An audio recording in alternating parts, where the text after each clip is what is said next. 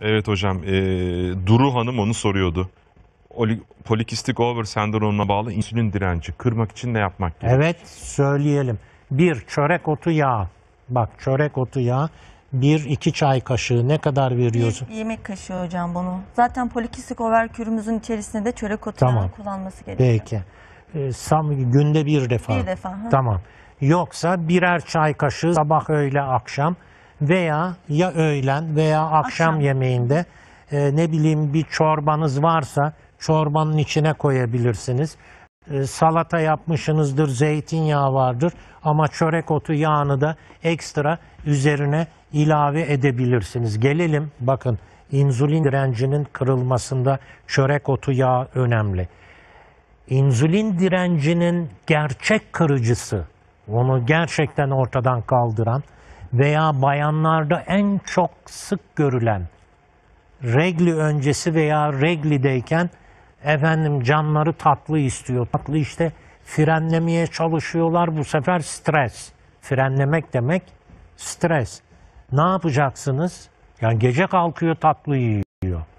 Bakın mens döneminde, adet dönemlerinde genellikle şeyi yasaklarlar, tatlı yemeyin derler. Hayır efendim lütfen yiyin.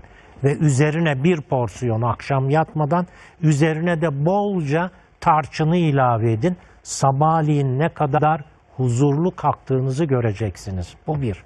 Ha, e, gün içerisinde tatlı açlığınız var, çikolata açlığınız var. Yapacağınız şey Yasemin çayıdır. Bildiğimiz Yasemin nasıl bir mucize ya Rabbi ya Resulallah.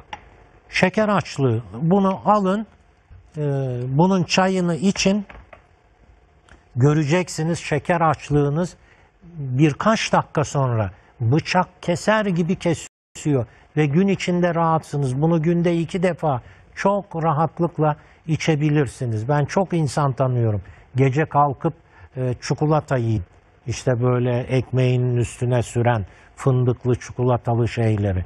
Hocam tamamen bitti diyor. Evet. İnsülin direncinde ben e, o soruyu yöneltmiş olan e, hanımefendiye Yasemin çiçeğimizi öneriyorum. Çok değişik türleri var. Doğru türüne ulaşması da lazım. Onu söylemiş olayım.